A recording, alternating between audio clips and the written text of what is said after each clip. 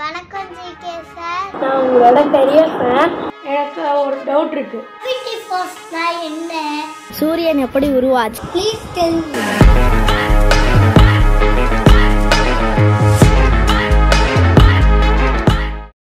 YouTube அப்படிங்கிற தளம் பார்த்தீங்கன்னா நாளுக்கு நாள் வளர்ந்துக்கிட்டே இருக்குது ஆரம்பத்தில் பார்த்தீங்கன்னா இந்த என்டர்டைன்மெண்ட் அப்படிங்கிறது நல்ல வளர்ச்சி அடைஞ்சது. எஸ்பெஷலி தமிழில் பார்த்தீங்கன்னா என்டர்டைன்மெண்ட் அப்படிங்கிற சேனலுக்கு குறைச்சலே இல்லாமல் அதிகமான சேனல்ஸ் இருந்தது. ஆக்கப்பூர்வமான விஷயங்கள் வரலாறு அறிவியல் இந்த மாதிரியான சேனல்ஸ் பார்த்தீங்கன்னா ரொம்ப ரொம்ப கம்மியாக இருந்தது.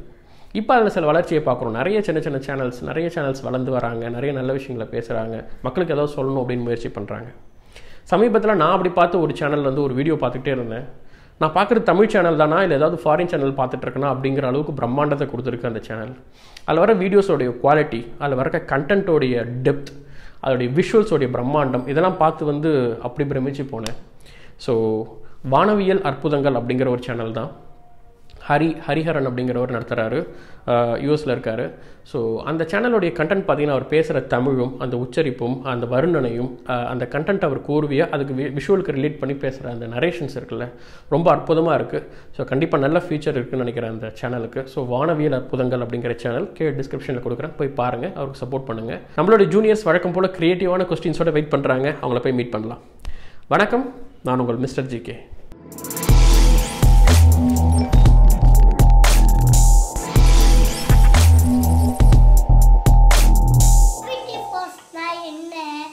கிராவிட்டி அப்படிங்கிறது ஃபண்டமெண்டல் ஃபோர்ஸில் மிக முக்கியமானது. எந்தெந்த பொருட்களாக நிறை இருக்கோ அதுக்கெல்லாம் கண்டிப்பாக கிராவிட்டி இருக்கும். நிறைங்கிறது ஒன்றுமில்ல மாஸ் எல்லா பொருட்களுக்கும் மாஸ் இருக்குமான்னு கேட்டிங்கன்னா நம்ம ஏற்கனவே போன வீடியோவில் பார்த்துருக்கோம். அணு அதை பற்றி பார்த்தோம். உலகத்தில் இருக்க எல்லா பொருட்களுமே அணுவால் ஆக்கப்பட்டது. நம்ம மனித உடலில் இருந்து இருக்கிற பார்க்குற பொருட்கள் எல்லாமே வந்து அணுவால் ஆனது தான் சொல்லியிருக்கோம்.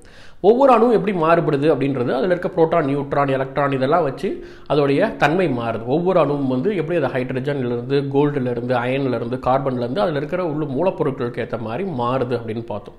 அதுபோல் ஒவ்வொரு பொருளுடைய நிறை மாஸ் அப்படிங்கிறது அதோடைய நிறையை பொறுத்து அதோடைய கிராவிட்டி அப்படிங்கிறது மாறும். உதாரணத்துக்கு இப்போ நானும் அணுக்களால் ஆனது தான் இல்லையா? இங்கே இருக்கிற பொருட்களும் அணுக்களால் ஆனது தான். அப்போ எல்லா மாசு உள்ள பொருட்களுக்கும் கிராவிட்டி அப்படிங்கிறது உண்டு. எனக்கும் கிராவிட்டி இருக்குது இங்கே இருக்கிற எல்லா பொருட்களுக்கும் கிராவிட்டி இருக்குது உங்களுக்கும் மாசு இருக்குது உங்களுக்கும் நிறை இருக்குது உங்களுக்கும் கிராவிட்டி இருக்குது ஸோ நீங்கள் கையில் ஒரு பேனா எடுத்துக்கிட்டிங்கன்னா அந்த பேனாவுக்கும் வந்து கிராவிட்டி இருக்குது ஆனால் அதோடைய நிறையை பொறுத்து தான் அதோடைய கிராவிட்டி இப்போ உதாரணத்துக்கு நான் இருக்கிற மாசுக்கு என்னுடைய ஈர்ப்பு விசை அப்படின்னு பார்த்தீங்கன்னா பக்கத்தில் ஏதாவது ஒரு பொருள் வச்சா என் கையில் ஒட்டிக்குமானா ஒட்டாது. ஏன்னா என்னுடைய ஈர்ப்பு விசைங்கிறது point zero zero zero zero one percentage ரொம்ப கம்மியானது. அதை விட நாம் இருக்கிற இடம் பார்த்திங்கன்னா பூமியிலங்கிறதால பூமியோட ஈர்ப்பு விசை நாம் ரொம்ப ரொம்ப பூமிக்கு நெருக்கமாக இருக்கிறதால பூமி தான் அதோடைய அதிக ஈர்ப்பு சக்தியால் அது இழுக்குது. ஸோ இப்படி மாசு உள்ள நிறைவுள்ள உள்ள எல்லா பொருளுக்குமே வந்து ஈர்ப்பு விசை இருக்குது நாம் பூமிக்கு நேராக இருக்கிறதால நம்மளால் அதெல்லாம் ஃபீல் பண்ண முடியல. பூமிங்கிறது நம்மளை விட பெரிய ராட்சசன் அப்படிங்கிறதால அது நிறைய இழுக்குதுங்கிறதால நம்மளால் உணர முடியல. இதுவே பூமியை விட்டு விலகி நாம் வந்து ஸ்பேஸில் இருக்கோம்னு வச்சுக்கோங்க. விண்வெளியில் இருக்கும் அப்படின்னும் போது நீங்கள் வந்து பார்த்துருக்கலாம். ஆஸ்ட்ரோனட்ஸ்லாம் வந்து கையில் ஏதாவது ஒரு பொருள் வச்சு பயன்படுத்திட்டு இருப்பாங்க. கை விடும்போது அவங்க பொருள்லாம் அவங்க பக்கத்துலேயே சுற்றிட்டு இருக்கும். சில நேரத்தில் விலகி போகும். அது ஏன்னா அவங்க விடுறது அவங்க அவங்க அவங்களுடைய உந்துதல் விசை காரணமாக அப்படி ரெண்டு பொருட்கள் வந்து ஒரு உதாரணத்துக்கு ரெண்டு டீஸ்பூன் வந்து நீங்கள் அந்த இடத்துல வச்சிட்டீங்கன்னு வச்சுக்கோங்க விண்வெளியில். அது பொறுமையாக ரொம்ப மைல்டாக மெல்ல மெல்ல மெல்ல மெல்ல ஒன்றே ஒன்று இருக்கும். ஸோ அதுபோல் ரெண்டு மாஸ் உள்ள பொருட்கள் ரெண்டு கண்டிப்பாக இரண்டு நிறைன்னு இருந்தால் மாசுன்னு இருந்தால் அதுக்கு நடுவில் ஏற்படுற அட்ராக்ஷனை தான் வந்து நம்ம கிராவிட்டி அப்படின்னு சொல்கிறோம் அதிக நிறை அதிக மாஸ் இருந்தால் அதிக கிராவிட்டி அப்படின்னு எடுத்துக்கலாம். இப்போ பூமிக்கு அதிகமான மாஸ் இருக்குது அதனால் இவ்வளோ வேகமாக நம்மளை இழுக்குது. அதை பொறுத்து தான் நம்மளுடைய வெயிட் பூமியோட நிறையால் தான் நம்மளுடைய வெயிட்டே கால்குலேட் பண்ணப்படுது. இதே நாம் வந்து நிலாவுக்கு போகிறோம்னு வச்சுக்கோங்க. நிலாவோடைய கிராவிட்டி அப்படிங்கிறது ரொம்ப கம்மியாக இருக்கும். அது ஏன்னா அதோடைய நிறை கம்மி. அப்படின்னும் பொழுது நம்மளுடைய வெயிட்டும் மாறுபடும். ஸோ வெயிட் அப்படிங்கிறது ஆக்சுவலாக மாஸ் நிறைய பொறுத்து தான் அப்படின்னு சொல்லலாம். அதனால தான் நிலவுக்கு போகிறவங்க வந்து அவங்களுடைய வெயிட்டை அதிகரிச்சுக்கிறதுக்காக அவங்க சூட்டில் வந்து பார்த்திங்கன்னா அதிகமான எடை சேர்த்துருப்பாங்க. ஸோ தட் அவங்க வந்து அங்கே அட்மாஸ்பியரில் ஈர்ப்பு விசை கம்மியாக இருக்கிற இடத்துலையும் அவங்க நிலத்தில் நடக்கிறதுக்கு ஈஸியாக இருக்கும் அப்படிங்கிறதால தான் இந்த special suit mister G K sir நான் தயா பேசுகிறேன் திருப்பூர்லேருந்து ஃபோர்த் ஸ்டாண்டர்ட் படிக்கிறேன். சூரியன் எப்படி உருவாச்சு? சின்ன வயசில் நாங்களாம் எப்படி பூமி உண்டானது அப்படின்னு தான் கேள்வி கேட்போம். இப்போ பாருங்கள் குழந்தைங்க வந்து சூரியனே எப்படி உண்டானது அப்படின்னு கேள்வி கேட்குறாங்க. ஸோ அடுத்த வர ஜென்ரேஷன்லாம் பிளாக் ஹோல் எப்படி உண்டானதுன்னு கேட்குற அளவுக்கு மாறிடுவாங்கன்னு நினைக்கிறேன். ஓகே ஸோ சூரியன் எப்படி உண்டானது அப்படிங்கிறத பற்றி காலங்காலமாக நிறைய கோட்பாடுகள் இருந்துகிட்டே இருக்குது ஆனால் கடைசியாக வந்து ஆயிரத்தி எழுநூற்றி ஐம்பத்தி ஐந்தில் வந்து இமானுவேல் காண்ட் அப்படிங்கிறவர் தான் ஒரு கோட்பாடு வைக்கிறார். ஸோ கிட்டத்தட்ட சொல்லப்போனால் ஒரு இரநூத்தி ஐம்பது வருடங்களாக அந்த கோட்பாடு தான் வந்து நடைமுறையில் இருக்குது அதை தான் வந்து நம்புகிறாங்க நெபுலா ஹைப்போதிசிஸ் அப்படின்னு சொல்லுவாங்க. இந்த நெபுலர் ஹைப்போதிசிஸ் அப்படிங்கிறது என்னன்னா தமிழில் நெபுலா கோட்பாடு அப்படின்னு சொல்லுவாங்க. பிக் பேங் நடந்தது தோராயமாக வந்து ஒரு ஆயிரத்தி முந்நூறு கோடி வருடங்களுக்கு முன்பு அப்படின்னு சொல்கிறாங்க ஸோ அதுக்கு பிறகு பல வருடங்கள் கழித்து ஒரு நானூற்றி அறுபது கோடி வருடங்களுக்கு முன்பு தான் சூரியன் வந்து உண்டாகியிருக்கு அப்படின்னு கணிச்சிருக்கிறாங்க.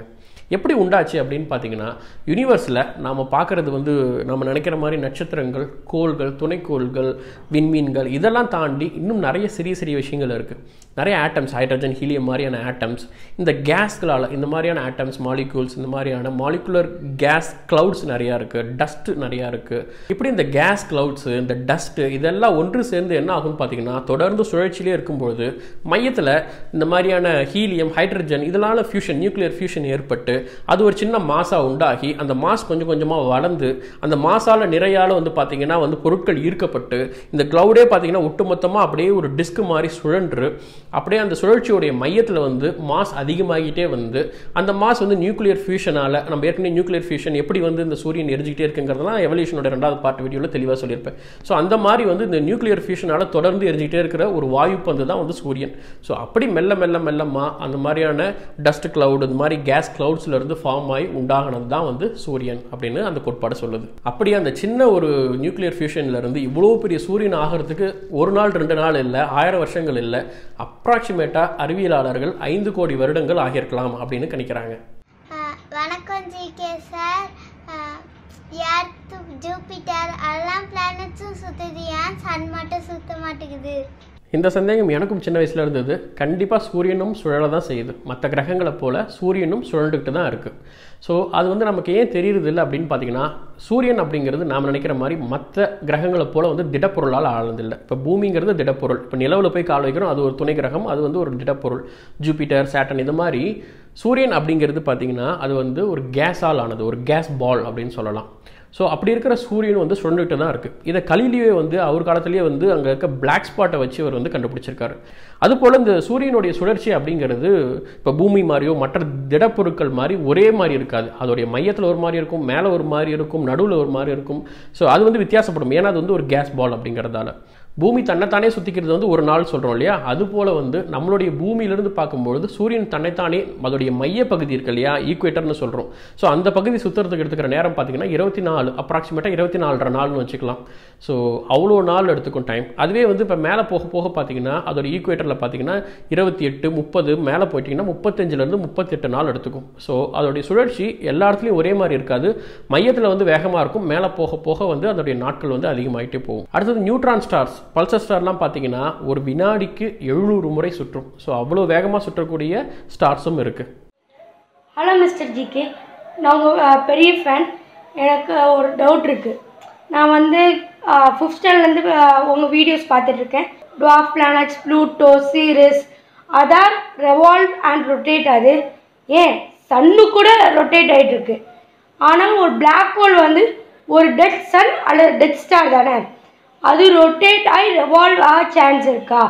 ஓகே ரொட்டேஷனுக்கும் ரிவால்வுக்கும் வித்தியாசம் இருக்குது நம்ம இந்த மாதிரியான கிரகங்கள் இதை பற்றி பேசும்போது நம்ம என்ன எடுத்துக்கலாம் அப்படின்னா யூனிவர்ஸை பொறுத்த வரைக்கும் ரொட்டேட் அப்படிங்கிறது தன்னைத்தானே சுற்றிக்கிறது ஒரு பூமி தன்னை தானே சுற்றுவது வந்து ரொட்டேட் அப்படின்னு சொல்லலாம். சூரியன் அதை சுற்றி வர்ற அந்த பாதையில் சுற்றி வருது இல்லையா? இதை வந்து நம்ம ரிவால்வ் அப்படின்னு சொல்லலாம். ஸோ இது இதுதான் வித்தியாசம். நம்ம பிளாக் ஹோலை பொறுத்த வரைக்கும் ரொட்டேஷனே எடுத்துப்போம். ஒரு பிளாக் ஹோல் சுற்றுதா இல்லையா அப்படின்றத நம்மளால் சொல்ல முடியுமான்னு கேட்டால் ரெண்டு வகையான பிளாக் ஹோல் இருக்குது சுத்தர அதாவது சுத்தர பிளாக் ஹோலும் இருக்குது சுத்தாத பிளாக் ஹோலும் இருக்குது அப்போ ரொட்டேட்டிங் பிளாக் ஹோலும் இருக்குது சுத்தாமல் ஸ்டேஷ்னரியாக நிற்கிற பிளாக் ஹோலும் இருக்குது so stationary black hole rotating black hole அப்படின்னு ரெண்டு வகைப்படுத்தலாம். ஸ்டேஷ்னரி பிளாக் ஹோலில் பார்த்தீங்கன்னா அதோடைய மையத்தை வந்து சிங்குலாரிட்டி அப்படின்னு சொல்லுவோம். அதை சுற்றி ஒரு எல்லை இருக்கும் இல்லையா? இந்த எல்லையை தாண்டிட்டு அது உள்ளே இழுக்க ஆரம்பிச்சிருன்னு. ஸோ அந்த எல்லையை வந்து ஈவெண்ட் ஹரிசான் அப்படின்னு சொல்லுவோம். ஒரு ஈவெண்ட் ஹரிசான் அந்த மாதிரி இருக்கும். இதுவே வந்து ரொட்டேட்டிங் பிளாக் ஹோல் எடுத்துக்கிட்டிங்க அப்படின்னு பார்த்தீங்கன்னா அதோடைய மையத்தை வந்து ரிங்குலாரிட்டி அப்படின்னு சொல்லுவோம். அதுக்கு பார்த்தீங்கன்னா ரெண்டு ஈவெண்ட் ஹரிசான்ஸ் இருக்கும். ரெண்டு லேயர் இருக்கும் அதுக்கு. ஒரு பிளாக் ஹோல் ரொட்டேட் ஆகுதா ஆகலையா அப்படிங்கிறது வந்து ஒரு மூன்று முக்கியமான விஷயங்கள் தீர்மானிக்குதுன்னு சொல்லலாம். ஒன்று வந்து மாஸ் அதோடைய மாஸ் நிறைன்னு சொல்லலாம். ரெண்டாவது சார்ஜ் அதாவது அதோடைய ஈவெண்ட் அரிசான் சொன்னோம் இல்லையா? அதோடைய லேயர்லேருந்து வர்ற ஒரு எலக்ட்ரிக் ஃபீல்டை தான் நம்ம வந்து சார்ஜ் அப்படின்னு சொல்லுவோம். ஸோ அடுத்தது பார்த்தீங்கன்னா ஆங்குலர் மொமெண்டம் அப்படின்னு சொல்லுவோம். ஆங்குலர் மொமெண்டம்னா உந்துதல் கோணம்னு தமிழில் சொல்லுவாங்க. இந்த மாதிரியான விஷயங்கள் தான் அதை சுழலணுமா வேணாமா அப்படிங்கிறத முடிவு பண்ணுது. நாம் இருக்கிற மில்கி வே கேலக்சியோடைய மையத்தில் இருக்கிற பிளாக் ஹோல் எடுத்துக்கிட்டிங்கன்னா அது வந்து ஒளியோடைய வேகத்தில் கிட்டத்தட்ட முப்பது சதவீதம் வேகத்தில் வந்து சுழலுது அப்படின்னு சொல்கிறாங்க நாம் பார்க்குற இந்த ராக்கெட்டு புல்லட் இதெல்லாம் கூட பார்த்திங்கன்னா பூமியில் நாம் கண்டுபிடிச்ச வரைக்கும் ஒளியோடைய வேகத்தில் point zero zero zero one percentage தான் நம்ம கண்டுபிடிச்சிருக்கோம். ஸோ முப்பது சதவீத வேகத்தில் சுழலுதுன்னா அது எவ்வளோ ஃபாஸ்ட்டாக இருக்கும்னு பார்த்துக்கோங்க அப்ராக்சிமேட்டாக வந்து வினாடிக்கு ஒரு எண்பத்தி ஒன்பதாயிரம் கிலோமீட்டர் வேகம் அப்படின்னு சொல்லலாம். NGC one three six five அப்படிங்கிற கேலக்சியோட மையத்தில் இருக்கிற பிளாக் ஹோல் எடுத்துக்கிட்டிங்கன்னா நாம கணிச்ச வரைக்கும் அதிகமான ரொட்டேஷன் ஸ்பீடு இருக்கிற ஒரு பொருள் அது அப்படி அப்படின்னு சொல்லலாம் அந்த பிளாக் ஹோலை ஏன்னா ஒளியோடைய வேகத்தில் கிட்டத்தட்ட முக்காவாசிக்கு மேலே அதாவது எண்பத்தி நான்கு சதவீதம் ஆஃப் லைட் ஸ்பீடில் வந்து பார்த்தீங்கன்னா அது சுற்றிட்டு இருக்குன்னா பார்த்துக்கோங்க அது எவ்வளோ வேகமாக சுற்றிட்டு இருக்குன்னு.